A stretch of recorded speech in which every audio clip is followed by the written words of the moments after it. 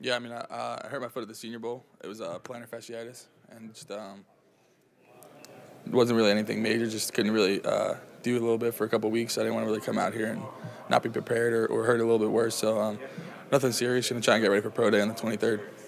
Before that injury, it seemed like you were having a really week at the Senior Bowl. Yeah. How was that experience for you? Uh, it was great. Um, like you said, good week. It was good. Um, Ohio State really had one coaching staff the whole time, which was great. Didn't really have a lot to uh, adapt to, so picking up a new playbook pretty quick was was a good uh, experience for me, and I feel like I did a pretty good job of it. And um, yeah, there's a bunch of great tight ends on my team, so it was cool to just um, you know talk to those guys, talk about our game, and just uh, get together. I, feel like I had a good week talking to teams, and, and on the field it went really well too. Jeremy, what's your? Uh, you can tell right away he's just a pro. Um, obviously, he's got the athletic ability, the talent that um, you look for in a quarterback. But um, my experience with him was just that he, he went about his business the right way. Um, kind of knew what you were getting with him. There wasn't really much um, inconsistency there. Uh, he made the right throws all the time, and he was just a competitor, and that's what you want in your quarterback. Hey, Jeremy, do you have uh, an agenda, or what, what are you here to accomplish, I guess. Yeah, um, I'm kind of bummed out. I'm not running. I wish I could have ran for everybody. Um, it's kind of what's the big question with me, but um, I'm going to be benching. Uh, I didn't want to come here and do nothing, so I'll be just doing the bench, talking to teams, and doing this stuff, and uh, just trying to get the most out of it. Stay positive throughout the whole process, and um, get a good grasp of these interviews, and just trying to kill those. Yeah, um, I think biggest thing for me was coming out of high school. I didn't really uh, play tight end at all. It was really just mostly receiver, and that was the biggest decision for me going to Ohio State. Was I wanted to be that complete guy. I wanted to be the I wanted to adapt to their toughness and, and, and their culture. And um, I think looking back from when I got on campus there to where I am now, um, I'm going to do whatever it takes to win, whatever it takes for the team to do, no matter what the job is at tight end. I'm going to do it, and I'm not going to just try and uh, check the box. I'm going to try and like get after people and and uh, do do the job the right way. So um, whatever the team needed me to do, whatever whatever kind of job you need at a tight end, I'm going to be able to do it. Uh, I don't know if underrated is the word. I just um, I had confidence in myself. Um, people might not think that that's one of my strengths or whatever, but I think I, I believe myself. I know what I can do. It comes naturally to me, and um, biggest thing throughout this whole process is just be myself and, and trust my abilities. Just what got me here.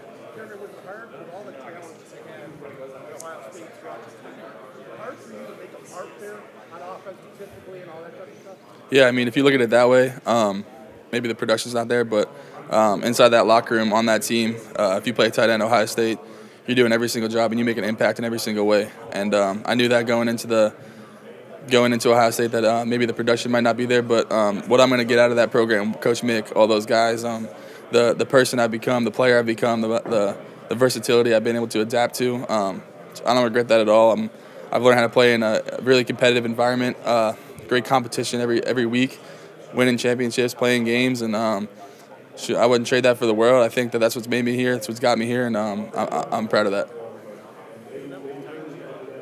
Yeah, not uh, yeah. I've been with them. With who? Uh, no, I'm, I'm not yet. I met with like the scouts and stuff. Yeah.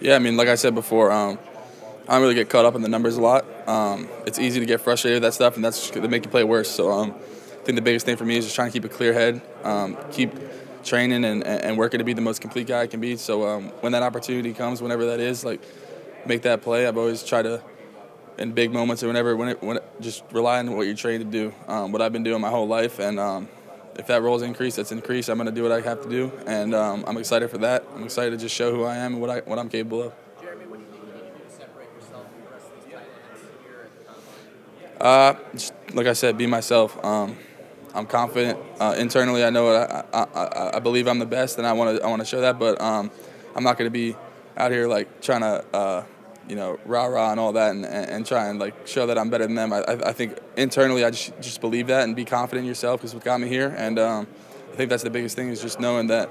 Uh, I'm here for a reason. Um, not everybody gets to come here. It's a blessing, and um, just to be excited and, and, and live in the moment. What do you like about the interview process? Uh, you getting that chance to kind of know what you can do verbally as well, just things like that. Yeah, I think it's cool because you're kind of just you're talking about yourself. Um, no matter what anybody says, you like talking about yourself. Uh, I'm proud of where I came from. I'm proud of my family life. I'm proud of uh, my journey at Ohio State. I'm proud of who I've become as a football player and as a person, and uh, just getting able to talk about that. And, and, and uh, the biggest thing with these with these interviews and stuff is you're learning you're learning stuff too. You're learning uh, from some of the best coaches in the world at what they do. Uh, you're learning football. You're learning life lessons, and um, I'm just trying to soak all that in and just like I said, be be myself because that's kind of I don't want to put on an act because then once you get there and you're someone different, like it's, it might not be the best fit. So just show them who I am and show them that uh, when I get in the locker room what I'm going to be like. And um, if, it, if, if, if the fit's right, like it's right, I'm excited for that.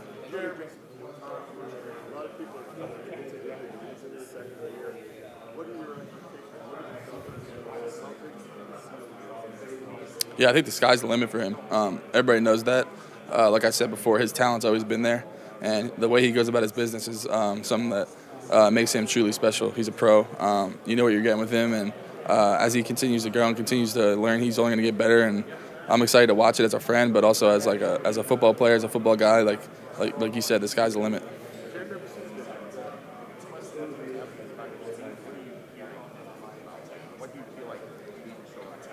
Yeah, I mean everything I've heard from teams, it's not really um, major question. They haven't really uh, flat out like said like stuff like that. I think the biggest thing was just um, everybody sees your numbers, everybody sees what you what you've done on the field, and um, they have they raise those questions. But at the end of the day, uh, what, what you see on tape, uh, how you play, your mindset, um, my my God given ability, um, I don't think they're questioning that, and they're just trying to. Um, out of all the things they're asking, that's probably one of the, le- the, the things they ask the least. Yeah.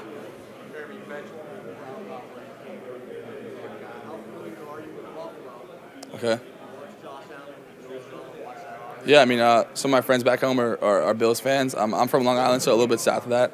Uh, pretty good trip away, but um, it's the only team in New York, so it, it's uh, a lot of people back home have a sense of pride in that. And um, yeah, watching Josh Allen, he's special. He's a he, he, he plays quarterback like a tight end, and uh, it's, it's pretty cool to watch that. And like you said, it's from being from New York. Obviously, you, you see a lot of that.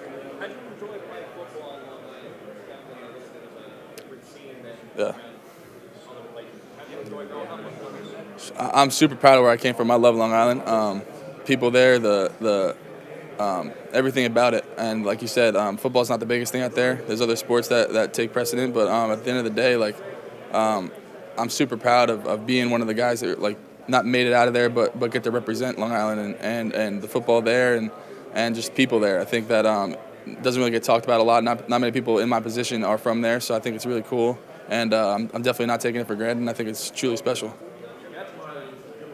Yes. Yeah.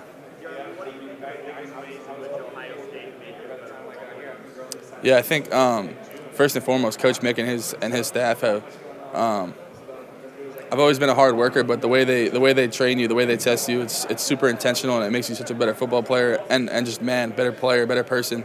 And uh, I'm proud of that from when I stepped on campus to where I am now, and uh, the development I've been able to um, to go through with Coach Wilson and, and become a complete tight end and uh, just be able to showcase all the all the jobs that you do at Ohio State as a tight end. You're doing everything. You're you're flexed out. You're in line. You're in the backfield, moving around, and um, I think being able to do that in college at such a high level, playing in, in big time games, big time practices during the week, um, I'm proud of that, and I think that's truly what's made me who I am and why why I'm here today.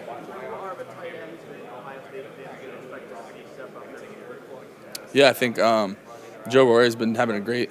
Uh, he, he really stepped up last year as, uh, as one of the guys that emerged. Um, not sure where Cade's going to play. He can kind of do both, play defense or, or, or offense.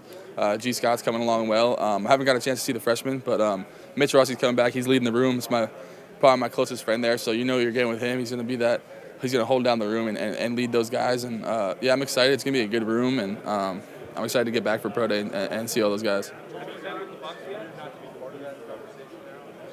Yeah, I mean it's it's definitely weird um, being able to come in right away and, and, and be talked about like with the guys, the cool, uh, being able to be a part of that brotherhood in that room. Um, it's a special room. It's always been. It's it's it's. Uh, they're one of the higher, hold to a high standard at Ohio State, and uh, being being one of those groups that's got to lead the team and, and, like I said, do all those jobs. So um, I mean, they're going to do a great job. I'm excited for them, and um, like I said, I can't wait to get back. Yeah, quite quite a few times. Yeah, it was it was good. He's a good player. Um, I think that was his freshman year, so um, yeah, you could tell he was special right away. So um, just you know, respecting that, respecting his ability, and just trying to do my job, not think too much about it. What's up?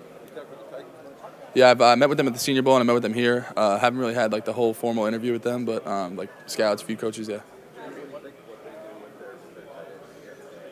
Yeah, um, kind of do similar to what we do, just a lot of, little bit of everything. Um, they're obviously pretty run heavy with, with Derrick Henry back there, and um, I think that'd be uh, something that I would I, I wouldn't have that much. Um, I definitely wouldn't have a problem going there, being able to do all those jobs, and I feel like I have a pretty good uh, background in that. So yeah, I mean, it's kind of notice the same little th- same things as Ohio State, and um, yeah, pretty much that. Talented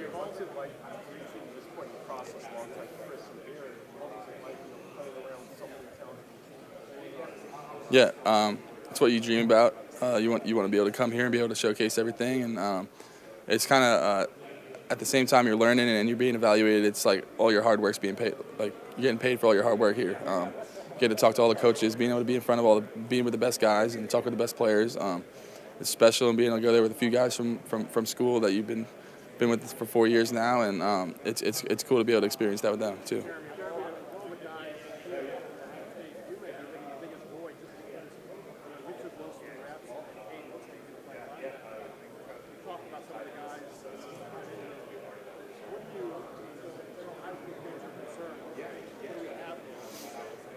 Uh, I think you got a lot of versatility in the group, a lot of um, people who can do different things. Um, I think they're going to continue to keep working to be that complete guy, but you got a lot of people who are special in different ways. Um, uh, they're all super tough. They're all going to be able to do it, hold their hold their ground in the run game, but at, at the same time, they're all super talented in their own way. I think that um, the leadership that Mitch is going to have in that room, and, and, and Coach Wilson and those guys, I think that they're going to have they're going to be producing just like everybody else has for, for the past few years at tight end. I think it's a position that, like everybody knows, um, doesn't get a lot of love, but is super uh, a huge contributor to the offense. And uh, you need to have that, or else the offense really don't run as well as it does.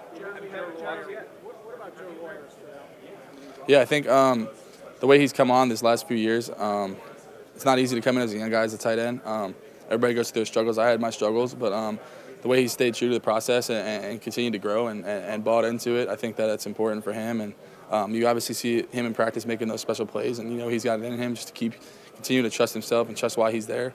Uh, he's there for a reason. Just got to be himself and, and be confident in that.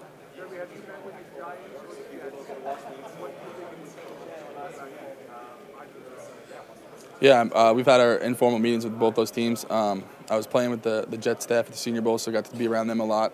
Um, I mean, I think people back home would go crazy. They, they would love it, but um, at the end of the day, like I'm excited no matter where I go. I'm excited to showcase myself and be that player for any locker room I have to be. Um, be that guy for that team, for those guys, and um, continue to uh, just keep growing and keep developing the player I want to be. But like you said, back home and in Long Island, they love their they love their Jets, they love their Giants, and um, it, it would probably be special for them. But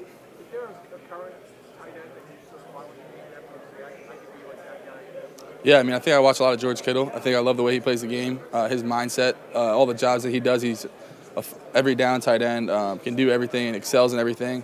But the biggest thing that sticks out to me when you watch him is his mentality, his mindset of he's not just trying to block somebody, he's trying to take him out. And uh, I respect that. I try to model my game after that. And um, just being able to watch guys like that, I think that's for sure. You say?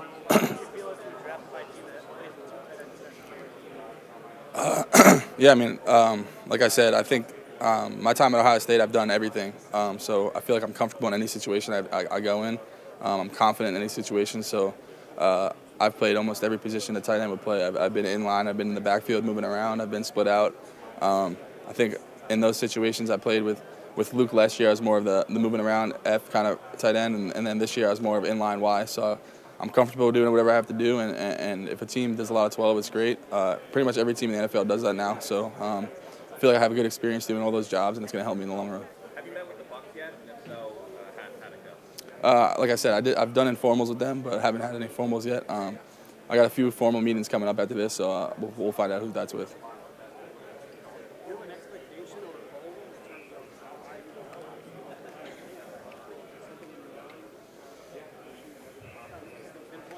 Yeah, um, I'm not really trying to get caught up in when I when I get picked or where I, where I end up. Um, the biggest thing for me is when I, whatever team picks me, they pick me for a reason. Um, I'm gonna just try and go there and give them everything I have, and, and the biggest thing for me as a rookie is just try and gain the trust and, and the confidence of, of my teammates first, and then the coaching staff, and then um, from there just be myself and, and, and, take off from there. But the biggest thing for me is um, be grateful that um, no matter where I go, like anybody would trade them, trade to be where I am right now. So super humble, super grounded. But at the end of the day, the biggest thing in my rookie year I want to accomplish is gain that trust of that organization, those players on my team that I'm going to be with for hopefully years and years to come, and um, just continue to stay grounded and be, and be who I am.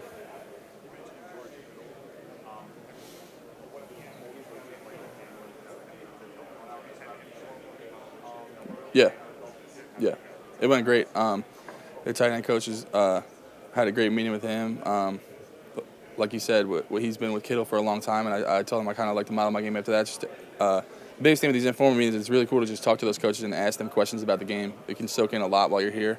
Uh, it's not only like they're interviewing me; I get to ask them questions about uh, what they look in a player, how they how they coach certain things, and um, I think especially with those, with that staff and and uh, Coach Embree with those guys, I think that was a great uh, meeting with me. Um, I'm excited for sure. Uh, sort of. They, they kind of said that they're looking for a certain player, and um, coming from that offense where, where their tight ends do everything and they, and they do it at a high level, um, that's the kind of player they're looking for. And like I said, I'm confident in my ability to do anything, and uh, for sure, yeah.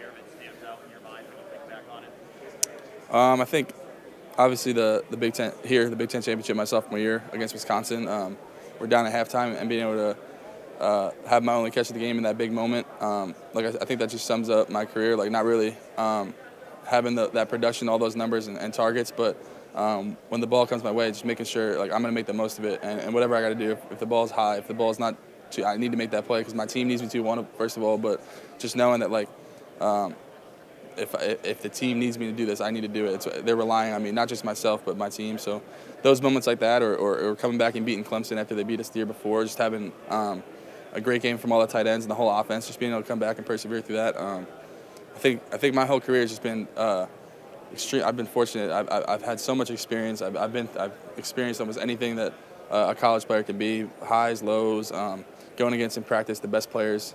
Uh, stepping on campus and trying to block Nick Bosa and, and those guys, and, and, and looking at back where I was that day to where I am now, it's, I'm super proud of that and um, continuing to grow, continuing to develop. What was it like, what was it like stepping on campus and having to block Nick Bosa um, yeah, I mean, like I, I didn't really come in as a tight end. I came in not really doing much of that. I was recruited as a tight end, but never did it. So it was definitely humbling. Um, there's those those moments that freshman year where you're thinking about like, what like, am I meant for this? But then uh, it all comes back to like that decision. I, I, chose to go to Ohio State for a reason to be in that environment, and obviously you got special players in practice every day, and it, will make playing in the games a little easier. And um, like I said, looking back at those days to where I am now, I'm proud of it, and um, it would have been easy to just pack up and and go somewhere else. But I think that uh, sitting there talking with Coach Mick all four years, being able to be worked by him, and um, it's been it's been super productive for me. Cool.